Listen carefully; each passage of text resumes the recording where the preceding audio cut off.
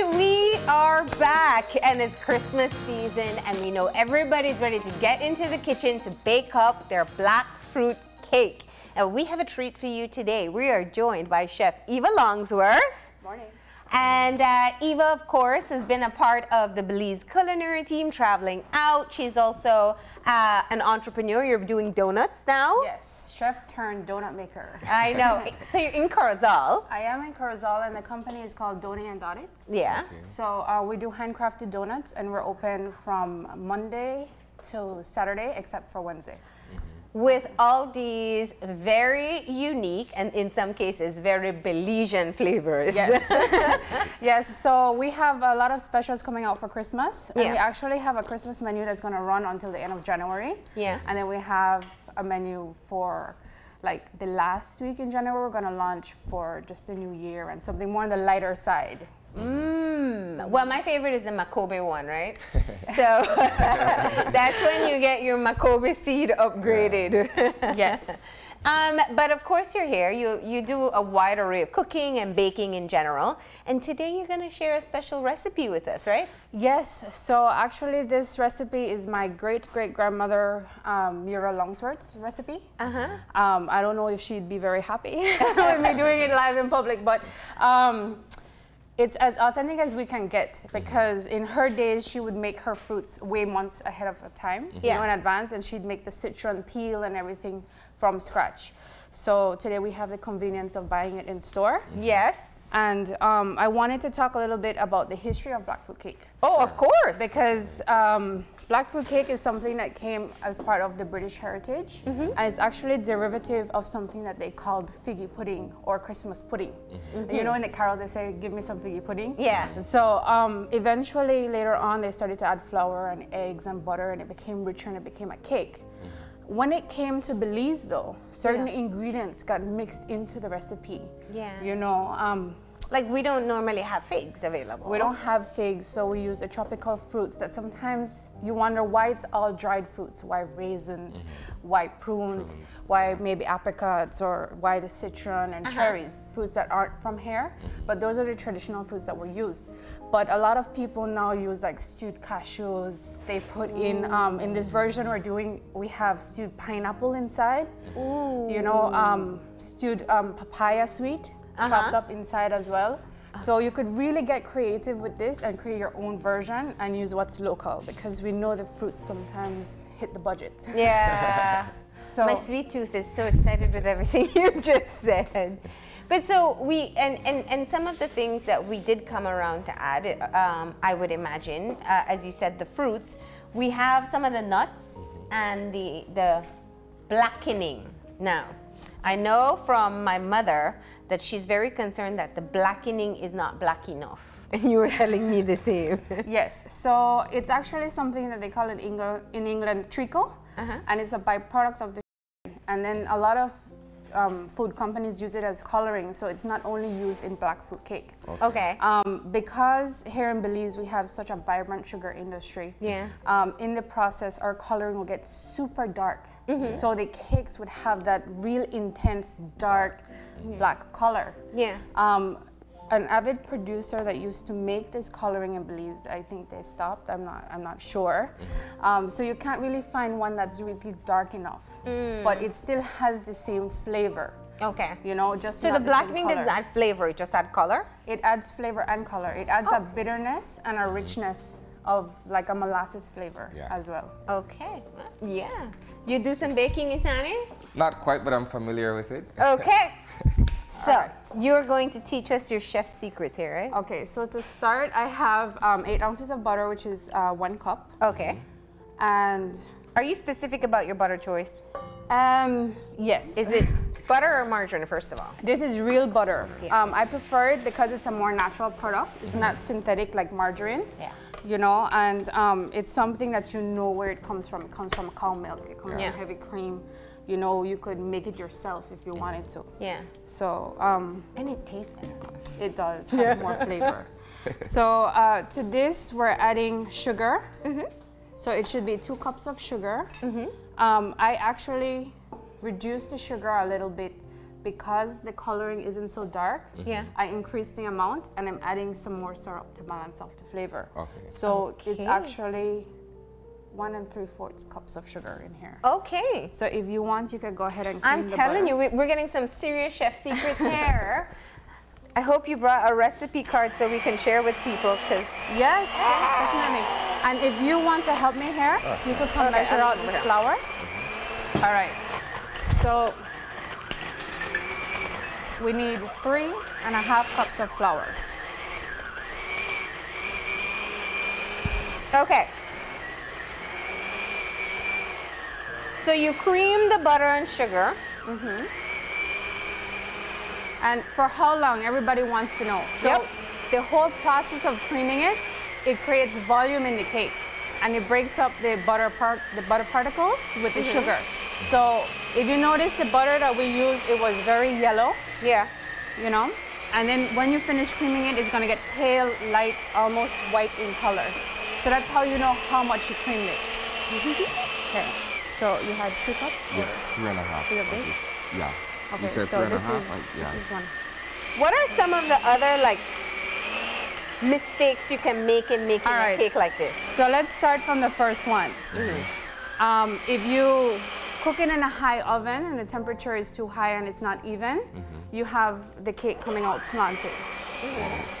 So one of the ways you can fix that is by using a tray like this Uh-huh. at the bottom of the oven and you fill it up with water Oh, you put water in a baking tray. in a baking tray and that's going to even out the temperature of your oven.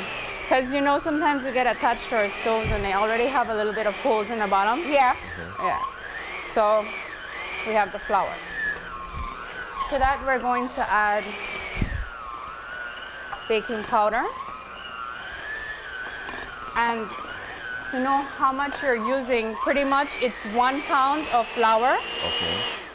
Mhm. And we're going to add a teaspoon per cup. So one pound is three and a half. So we're gonna add three teaspoons of baking powder to that. Right? And then you want to sift your flour.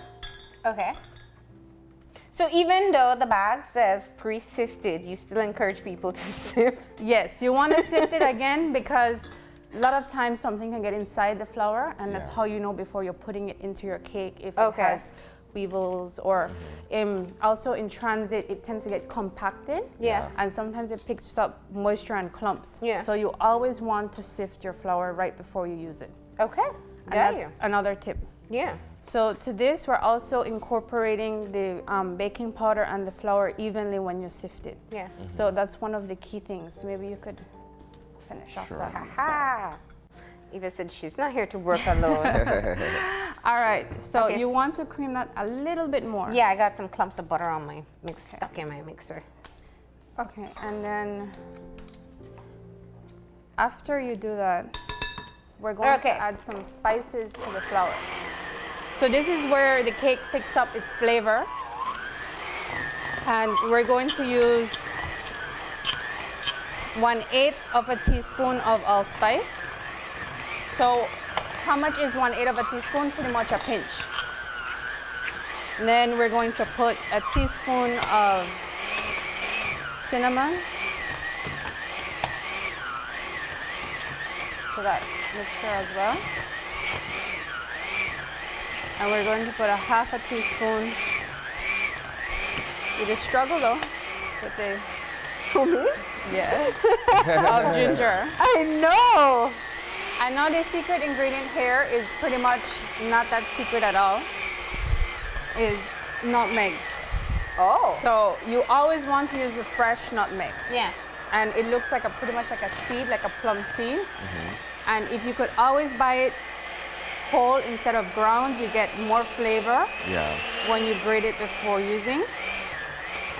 And this is something that we're eyeballing here, so you're just going to use it until it's enough. Mm-hmm. or you don't want to overdo it because it's a very pungent spice, so just Yeah. keep that in mind. But some people like it, so you can add a little bit extra. Alright. Now to this mixture that we have here, want to put that aside. Uh-huh. And we're going to take our fruits that was pre-prepared. So the fruits here have been soaking for a week in rum. And the one thing different that we have here is some stewed pineapple. So what this does, it adds a little bit of um, more moisture Okay, to but the you, mix. can you tell us that process of how you how you did that? So traditionally, you take the fruits and you put them in dark rum or any as kind dark of rum. rum or any kind you prefer. Yeah. You could also use brandy as well if you like. Yeah. So some people cook the brandy in the stove on the stove with the fruits. With the fruits, I right? think you're wasting the alcohol pretty much. Oh, in that scenario. So what we do is I use a little bit of sugar and water, Mm-hmm. or you could add some maybe like some orange juice if you'd like to, To- that to cook it. To cook it. And when it starts to get plump and juicy, you take it off the stove and then you add your rum Okay. directly to it and have it soak for at least a week. And you keep it in your fridge. because you're going to burn off the alcohol if you cook When it in. in there, and you're eventually going to bake it anyway, but Yeah. that's how you get most of the flavor and the moisture of the rum into the fruits Oh, by soaking it ahead. And then the stewed pineapple, how'd you make that? Okay, so we just put it in a saucepan, add a little bit of sugar, and mm-hmm. cook it down until it's a little bit soft. Okay, does it change? Because it's a regular yellow. It doesn't change color or anything No, like that. It's just gonna stay right, just yellow like that. Just and you mix that with the liquid in with the fruits? yes. All right. And in the fruits have the cherries already and the citron and, and everything. And I'm just gonna strain out this liquid here. Mm. And we're going to reserve all of that niceness. all that I know, there. right? That's alcohol syrup. Yes. It So- doesn't get yummier than that. So we have it here pre-measured. So I like the fruit cake to be really loaded. So I have two pounds of fruits here Mm-hmm. already measured out, right? And then You can smell it. Oh, it smells so nice though. We're gonna put this over here, and then this is what we're going to mix with even more rum mm-hmm. to moisten the love cake later that. on. so we're going to add the fruits to this Oh, bowl. Wow. And it's one thing, one mistake that happens when you're baking mm-hmm. is that people say my fruits fall to the bottom. Yeah. So to prevent that, what you want to do, It's flour then. you're going exactly, you're going to drench them in some flour, mm-hmm. and then just mix it. So I'm thinking. Is this good? You want to cream it a little, A little bit more. So what consistency are we going for? It's going to be light, fluffy, and it's going to actually change in color. Okay. So it's going to be a little bit paler than that. do I mix this or do You go ahead and mix it. I remember as kids we used to have to do this by hand and help my mom. That's true. Ugh. So we're going to use five eggs. Okay. You started with how much um flour? We started with a pound of flour, A pound of flour. which is equivalent to three and one one third cups of flour.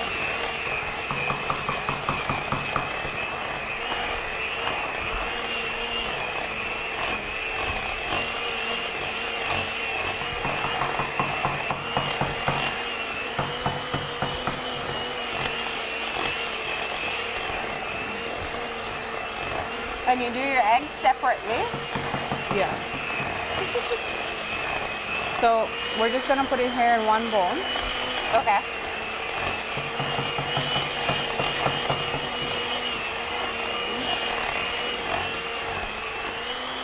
Right. Look at all the tips we've gotten so far. So first of all, real butter. Secondly, butter, yes. flour your fruit. All right. Also, add some nutmeg, fresh nutmeg, more importantly.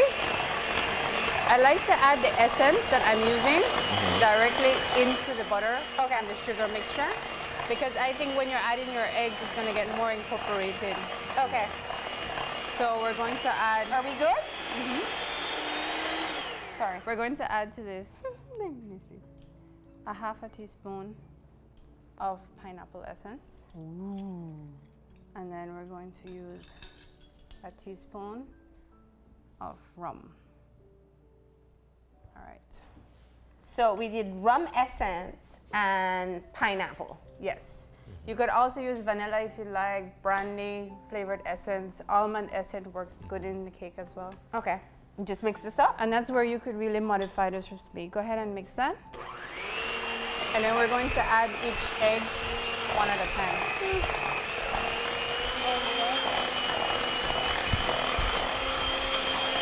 All right, we're gonna add a little bit more flour to the fruit. You want to really get loose.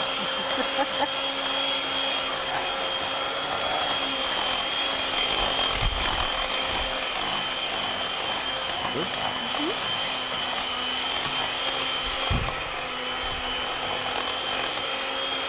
By all means, tell me if I'm using the wrong technique. no, you're doing great.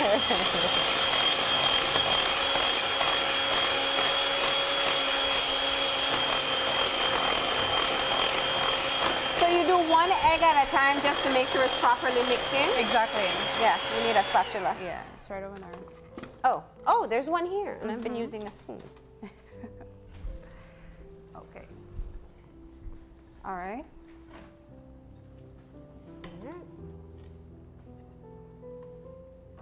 And then we have two more eggs to go. Yeah.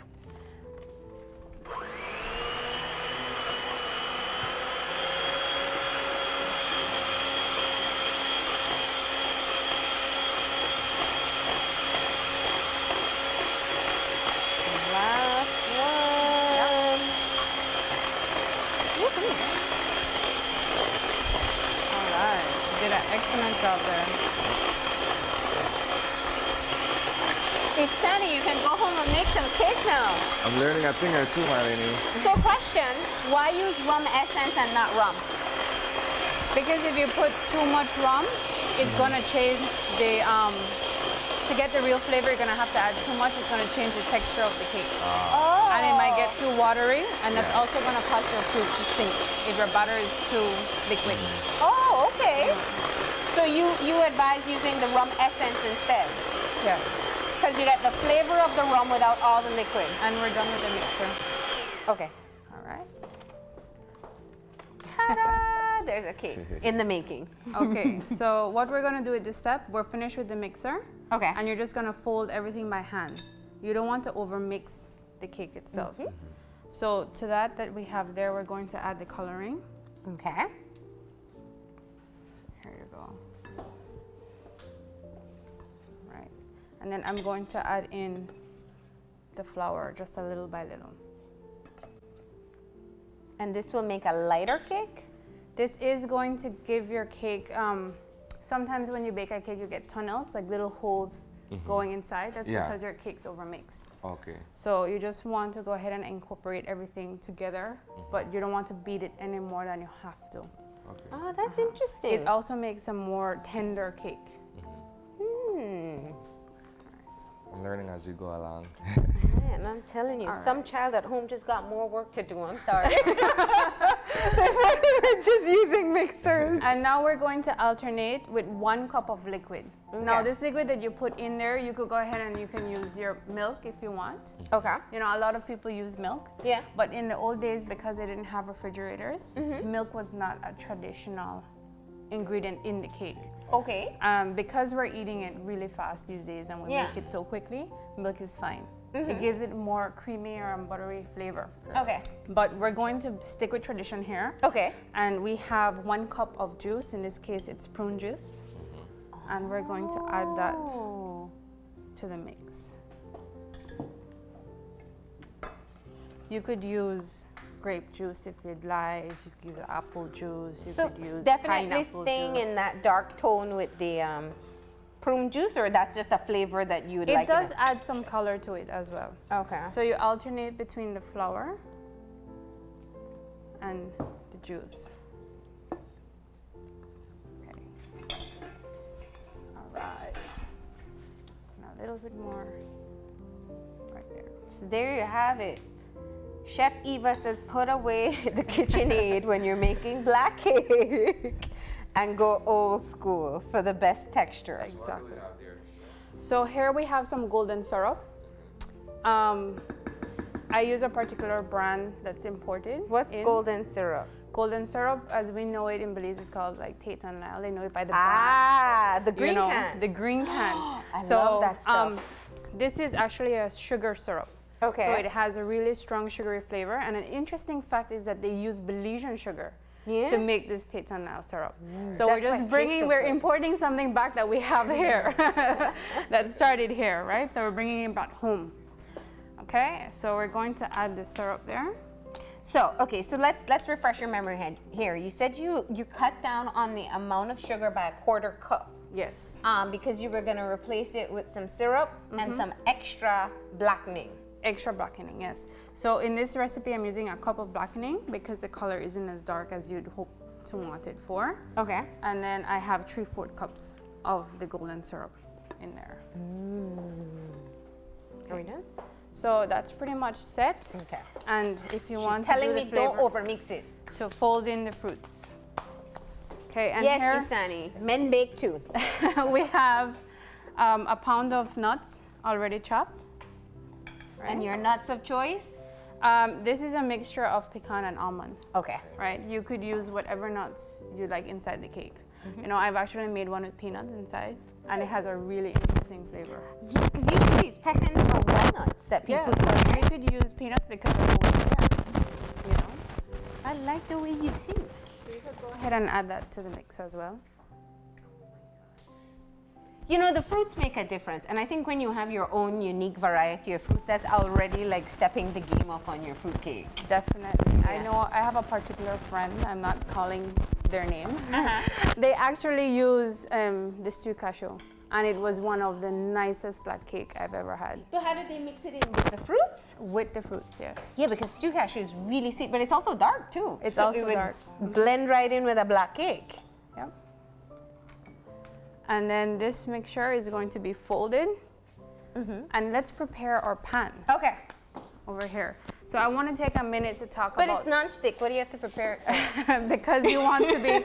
We're going to take this cake and we're going to flip it over. okay. Right. Like an upside down. like an upside down and then, then you want to have a certain barrier to help you with that flipping process just to make sure it doesn't break you know and then also helping with when you're serving and the preservation of it i like to line the pan with a little bit of wax paper okay. right so but we're going to talk about the pans so a lot of times you buy these aluminum pans in the store Yeah. and they're very flimsy Yes. right? So if you're going to use them, which is good because you don't have to worry about somebody taking your pan and not bringing Yeah. it back. You just want to make sure you have it tripled to give you Oh. enough stability when you're baking and also for the heat in it. It's not Okay. going to overcook, it's not to cook too fast. Because they're so thin and and, it's cooked, even yeah. out the heat. Um, And then you also said to take a baking tray and fill it with uh, with water, water in there. and that goes to the at the bottom of your oven. Okay, you put that way at the, the bottom. on the floor surface Okay. of the oven. Yeah, and and then you put the cake on the tray, like on the, the, tray normal in the center in the middle of the oven. Okay. Yeah. And what heat are you at? We're going to preheat the oven, always it's the first step. Okay. And we're going to do it for 350 degrees or 176 degrees Celsius. Okay. Right? 350. Or Good. 176. Or 176. Okay. Yeah, a lot of times you have ovens that's made in Mexico, Uh-huh. and you're like, oh, but this, there's no 350, you know? So you're gonna look for 176, Yeah. right? So, you All want right. to help me grease So, this pan okay. here? The nuts, Isani, you forgot your nuts. Oh.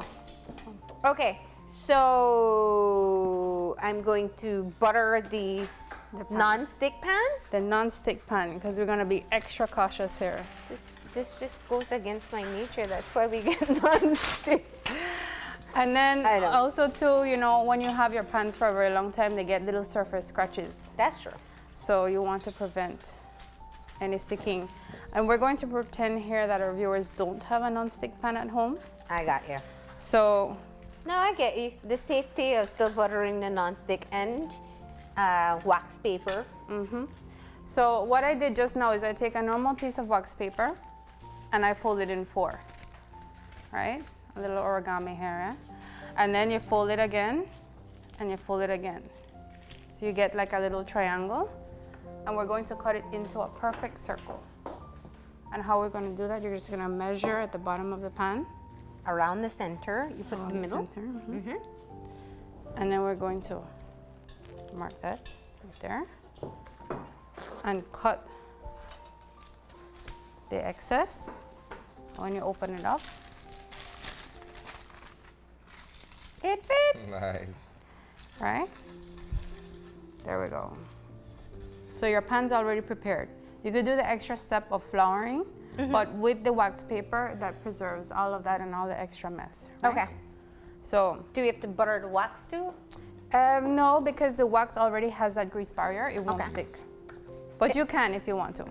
And if you use parchment instead of wax, does it make a difference? If you're using parchment, then you want to put an extra layer of butter okay. on top.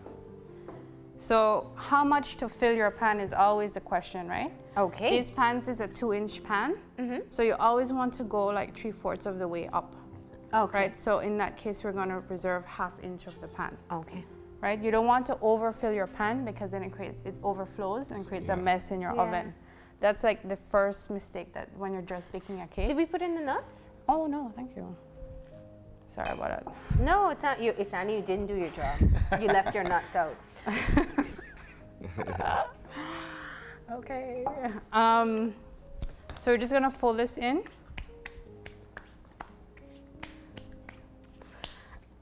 And then Oh, that's a heavy. we're going to fill this. Oh, that looks so good. Okay. So that's like at three fourths. Yeah. So a lot of people take the pan, lift it, and tap it. What you're doing is automatically sending your fruits to the bottom. Okay. So in this I'm case, just like thinking of all the things I need to correct now. so in this case, we're not gonna do. We're just gonna spread mm-hmm. and gently pat the batter in to get rid of any air oh bubbles. wow. Okay. And then we just want to spin it around. Eva, you're like myth buster for cake making. you know, and that's because I'm not a baker by profession. so then this goes into our oven uh huh. TV oven. here. Put it in.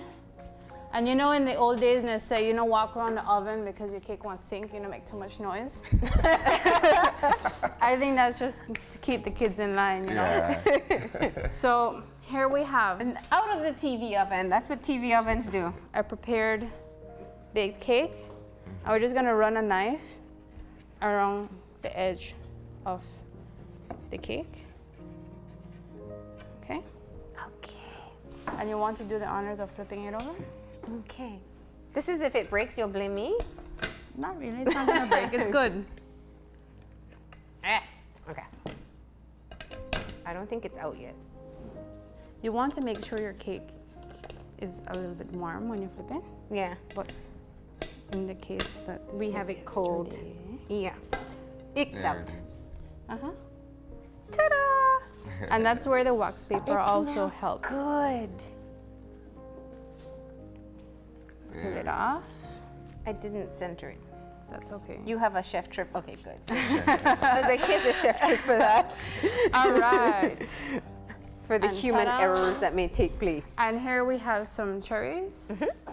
And some nuts for garnish if you want to decorate the top. And what about soaking the rum, uh, the cake with rum? I'm gonna get to that right now. Oh, okay, good, good. so you want to put the fruits on top. Do your little you be decorative now. artistic flair right there. And we're Okay, gonna Sandy, your mom is so gonna take you into the kitchen for her black fruit cake making. All right, so now we're going to work on the make sure we're going to wet the cake with. So this is the same syrup from the fruit, so it has all that flavor Uh huh. and all that rum.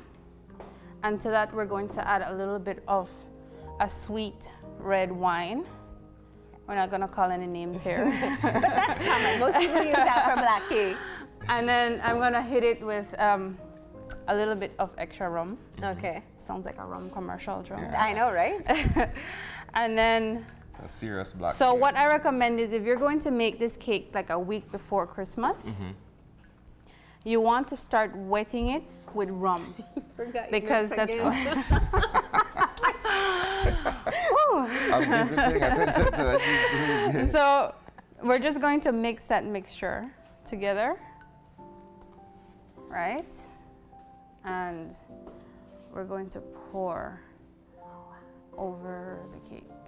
So your recipe, or this recipe, is more like a rum cake, because most people have been mixing it in for as long as possible, um, uh, mixing it in the process of making the cake. But this is like rum cake where you put that glaze It- on you're top. putting yes, like Yeah. a glaze. So what we're doing is, is going to keep the more moisture in, Uh-huh. and also the rum has a preservative in there. Yeah. So you can leave it out for a week and it won't stay dry. So every day as you wake up in the morning, you know, and you Wet the hair and you cake, brush your yeah. teeth, You we're going to take the rum, you know, and we're just gonna rub it Give it over a the drink. cake. and the more you do that, the more flavor, the more moisture it's going to have. Is it going to be overwhelming with rum? Um, I wouldn't say so. Okay. I wouldn't say so because the base of the flavor in the fruits, you have the pineapple flavors, the essences are Yeah. gonna kick in, the molasses flavor from the dark coloring is going to go in. So I wouldn't say it's gonna be overly rummy. Oh my So gosh. you want to wet your cake while it's still a little bit warm. Yeah. So it could absorb much More. of that Faster, moisture. yeah. Yeah. We're working with a cold cake. I'm for TV. There you go. Yeah. And if you want to do the honors, Ooh, give me. oh my gosh, that looks so good. I didn't get plates. Uh, we'll do tissue. So, okay, Eva, thank you. You have given us so much information, and I want to recap, right? So, for everybody at home, to avoid any black cake disaster, let's go through the tips. So To even out the um, to even out the cooking, put a tray of water underneath In your oven. steamer plates, um, in in the bottom of your oven, um, to even out the cooking. If you're Mm-hmm. using disposable pans, triple it Triple it, yes. so that you have enough stability and Uh-huh. then the heat that is yeah. going to be even out going to your cake so you don't burn the bottom okay. of your cake. So that that's baking. Mm-hmm. 350 preheated Or 176. or 176 Celsius. Mm-hmm. Um, what else did we do? Uh, the next tip, if your cake is overcooked and it comes Mm-hmm. out too dry, don't worry, you're gonna wet it anyway. Okay. right? So nobody's gonna know. Yeah. If your cake is too crumbly. That's because you're not adding enough eggs into your mixture. So five seems like a lot, Yeah. but you won't pick up that eggy flavor. Okay. Uh-huh. But it's going to keep your fruits together in your mixture. Don't beat down your pan. Otherwise, your fruits will go to the bottom. Just spread it in the pan itself. All right, that would look much better. And this can be my snack. And we're just going to imagine that this cake is as dark as we'd like it to be. All right, so here's the, the presentation of the black cake. Oh my gosh. Black fruit cake a la Eva and her uh, secret family recipe, which is not so secret anymore. It's like enduring Longsworth tradition. I know, Granny Mura Longsworth's recipe. Oh, thank Do you, you wanna so taste much. it and let of the course, I'm going to know taste why? it. Yeah. Um, but I also wanted to, to remind people that uh, while you're not doing black cake, you're doing your donuts. I am making donuts for Christmas, Are you doing a black fruit cake donut? I actually have something in the making. So we're gonna see it as a surprise. It's gonna come out, that's gonna come out more closer to Christmas. This is so good. Zanim, you have to try it. Yeah. So um, I would, because I'm booked out, I would of take a few orders. Mm-hmm. Like maybe the first 10 people is fine, you know? Okay. But I don't want to overcompromise either. Yeah. Yeah. Mm. Eva, the cake is delicious. Mm-hmm. And you know what it is? It's not like that heavy, dense cake that we normally get for, for black fruit cake. Yeah. It has flavor, it's soft. And those fruits, I think I got a piece of pineapple just now. That was delicious. All right. Thank you for coming in and sharing your tips. You're welcome. I just want to encourage the viewers to give it a try at home. You Yeah. know, don't be overwhelmed by it. People say I do white fruit cake, I don't make black. But go ahead and try it. You know, Um, you'll get the same flavor. You might not get the same color. You know, um, and bring it back into tradition. You know, and make it from scratch. Get the kids involved and the husbands too, right? Isani was very helpful in that recipe. All right, we're going to go ahead and take that final break now. When we come back, we'll have our wrap up, so stay tuned.